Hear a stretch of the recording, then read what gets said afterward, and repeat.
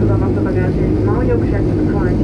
Pedimos precaução na abertura das bagageiras para evitar a queda de objetos. Obrigada por voar com a comandante, pagando riscando e a sua tripulação. Respeitamos os passageiros que embarcam nestas escalas. Desejo a todos a consideração de uma boa tarde. Obrigada.